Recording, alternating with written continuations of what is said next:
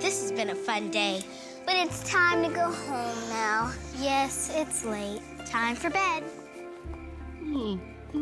So they all went to bed, including the goose, who nestled into her nice new nest.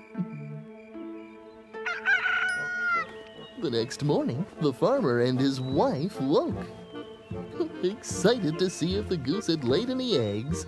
Oh, they were quite surprised at what they found, Oh my goodness! said the farmer. Our goose has laid seven golden eggs. Oh, sure enough, the goose had laid one, two, three, four, five, six, seven glistening golden eggs. We're rich. We're rich. These golden eggs will give us more money than we'll ever need.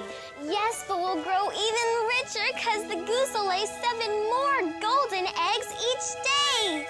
We're rich. We're rich. We're rich. Hi, neighbors. We brought some milk from our cow to share with you. Did the goose lay any eggs? Yes, she laid seven golden eggs. Yes, but we can't share any with you.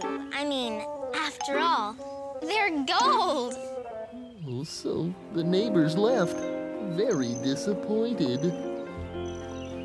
The farmer and his wife ran to town, excited to tell everybody how rich they were. But the goose was disappointed that they wanted to keep all the eggs for themselves. So the goose left to find someone else who would be happy to share her golden eggs with others. When the farmer and his wife returned from town, they were in for a surprise. The goose, she's gone. And she took all her golden eggs with her. Now we don't have any. I think we should have given some of the eggs to our neighbors. Yes, you're right. We were too selfish. So the farmer and his wife learned an important lesson.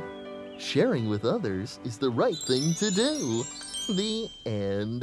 That was a good story.